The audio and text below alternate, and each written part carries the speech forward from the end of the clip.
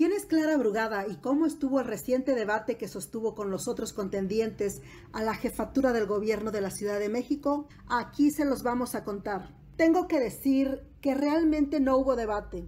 Los contendientes estuvieron cada uno con su tema. Hubo un poco de golpeteo entre Clara Brugada y Santiago Tahuada, pero en general, Brugada solo insistía en exponer ante el electorado su plan de acción para mejorar la situación de la ciudad capital, y Chartorivsky se esforzó por llamar la atención y porque los otros contendientes lo voltearan a ver.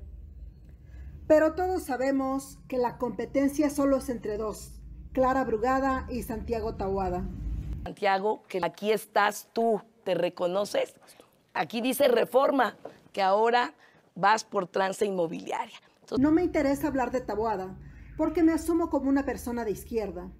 Que de él hablen sus partidarios y quienes no sientan vergüenza por querer llevar al gobierno de la ciudad a alguien que está involucrado en un desfalco financiero de cerca de 7 millones de pesos a las finanzas de la Ciudad de México vía el cártel inmobiliario. Y no solo eso, estos delincuentes de cuello blanco han construido pisos de más en una zona sísmica como la Ciudad de México y han sobrepoblado esos más de 200 edificios que construyeron sin importarles el problema de desabasto de agua que ya sufre la ciudad. Por solo mencionar algunos de los problemas en los que se ha visto involucrado Taboada. ¿Cómo se llama esto?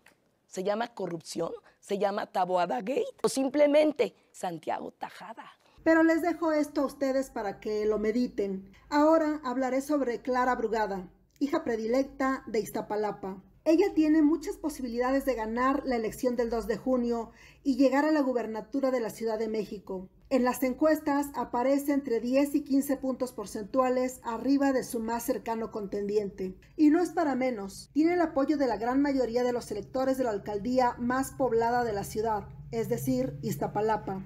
Y esto no es de gratis. Mientras sus contendientes apenas estaban terminando la secundaria o pensando en entrar a la política, Clara Brugada ya tenía camino recorrido en la lucha social. Ella ha trabajado para Iztapalapa y para la Ciudad de México, no ahora, ni durante sus tres trienios, dos como delegada y uno como alcaldesa, sino desde hace 40 años. Entonces empezó todo un trabajo de hormiguita en cada una de las organizaciones sociales de la CONAMU. Era la candidata natural de Morena para la jefatura de gobierno. Fue muy desafortunado que se enturbiara el proceso permitiendo la precandidatura de Harfuch en ese partido. Eso sí le hizo el juego a la derecha, algo que mucho temen los morenistas. Eso no la dejó bien parada al señalársele que su candidatura solo obedece a la cuota de género, cuando no es así, porque Clara Brugada es una política con una amplia trayectoria. Como delegada y alcaldesa, tiene deudas pendientes con la cultura y la recuperación de bienes públicos en mi comunidad, Colonias Jalpa, Lomas de la Estancia y Segunda Ampliación Santiago. Sin embargo, no se le puede negar que, desde muy joven, como activista antipartidos, estuvo siempre apoyando a los colonos cuando estos se organizaban para meter los servicios públicos básicos en sus colonias. Agua, luz, drenaje, escuelas, mercados y los comedores populares que impulsó. Estuvo también apoyando la organización de los cientos de costureras que luego del terremoto de 1985 quedaron desempleadas sin el desamparo. Desde entonces abrazó también la lucha por los derechos de las mujeres y desarrolló su idea de que es el Estado quien tiene la obligación de intervenir para que las mujeres no sigan siendo esclavas de los quehaceres domésticos y del cuidado de la familia, para que puedan desarrollarse y ejercer sus libertades y aspiraciones.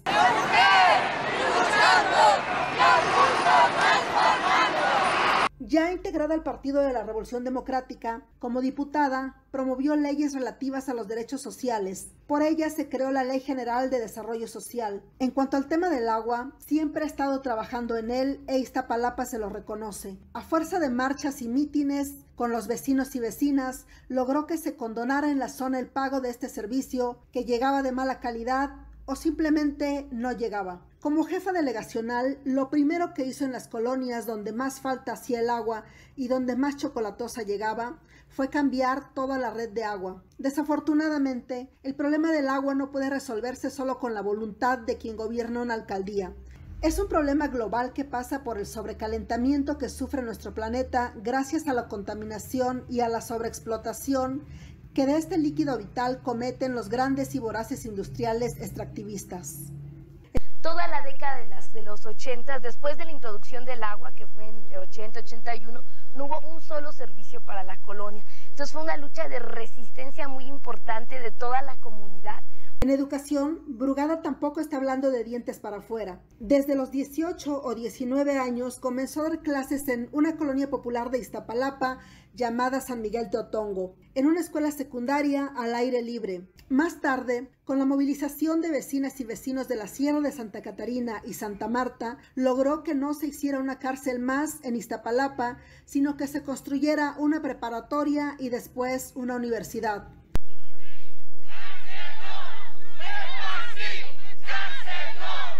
Durante su primera administración como alcaldesa, 2009-2012, fundó centros de atención holística para toda la familia, donde se ofrecían desde clases de cocina saludable hasta atención médica, alópata y tradicional, pasando por espacios para hacer deporte y de juegos infantiles, el antecedente de las utopías. Y las utopías sí son buena idea, sí sirven a mucha gente, pero no a toda la que podrían o deberían, dada la inversión que se hizo en ellas. Y es que estos centros culturales pueden haberse construido con las mejores intenciones, pero no estoy segura de que las personas trabajadoras de Iztapalapa y de la Ciudad de México estén pensando en el entretenimiento, la lectura, el arte y los deportes como artículos de primera necesidad.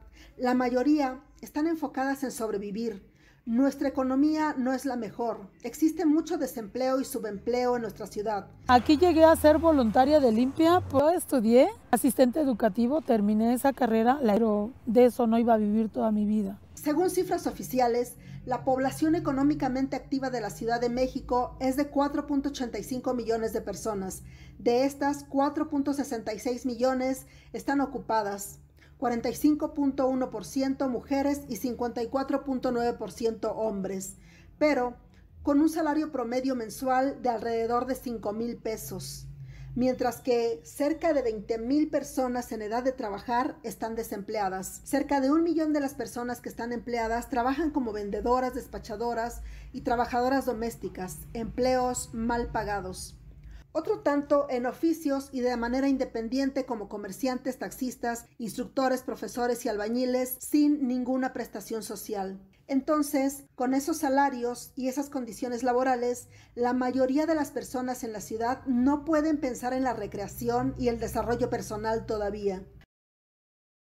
Si pensamos en la pirámide de Maslow, las personas de Iztapalapa y de la mayor parte de las alcaldías de la Ciudad de México están todavía en la base. Por eso, quien gobierne la Ciudad de México tiene que prestar atención a esto e incidir en la creación de políticas públicas de carácter laboral y salarial. Cuando la gente no esté preocupada por cómo va a conseguir lo que comerá al día siguiente, entonces podrá beneficiarse de las utopías y de los pilares. Y no basta con apoyos sociales o becas. Los y las trabajadoras de la Ciudad de México reclamamos empleos y salarios dignos como un derecho social urgente. Tenemos que comprometer a Clara Brugada a que realice esto una vez que gane las elecciones. Creemos en la prosperidad compartida. Queremos una ciudad en la que nadie se quede atrás. Y sí, hay utopías muy concurridas, pero hay otras como la de la quebradora en Calzada Ermita que están desaprovechadas. Y este lugar tiene otro problema de fondo. Se supone que sería un parque hídrico que daría solución tanto al problema del desabasto de agua como al de las inundaciones. Pero, como lo inició la administración de Dione Anguiano, Brugada no lo continuó con tal de no darle crédito a la periodista. Y esto se convirtió en una utopía. Esa miopía y sectarismo político es un problema que Clara Brugada debe superar. Parece no ver más allá de su círculo cercano, de quienes no se atreven a contradecirla ni con el pétalo de una crítica y actúan como cortesanos haciendo todo lo que ella cree que es correcto. No se abre, solo favorece a los suyos, opera en este sentido como los viejos caciques o como algunos viejos líderes sociales de izquierda que decían, si no estás conmigo, estás contra mí. Los logramos convencer de que era una propuesta que le iba a servir no solamente a la zona, sino que iba a ser una obra de beneficio para el conjunto de la Ciudad de México. Es curioso cómo Morena se abre a verdecologistas, expriistas y expanistas o personas como Cuauhtémoc Blanco que nunca han tenido nada que ver con la lucha social pero se cierran ante quienes siempre los han apoyado, aunque piensen diferente en algunos casos, o ante quienes siempre han sido activistas de las causas más nobles como la búsqueda de víctimas de desaparición forzada. Esto es algo que Brugada y Morena en general deben superar si queremos avanzar y vivir en democracia. Hoy tenemos 600 mil personas que se mueven en esta ciudad sin contaminar. En lo que hace al transporte, el cablebús y el trolebús elevado, aunque sí puede pensarse que son megaobras solo para ganar reflectores, también son obras necesarias. Sin embargo, no resuelven el problema de fondo. El hecho de que las personas trabajadoras que viven en su mayoría en Iztapalapa y la parte oriente de la ciudad tengan que sufrir aglomeraciones inhumanas durante las horas pico y viajar en condiciones de absoluta incomodidad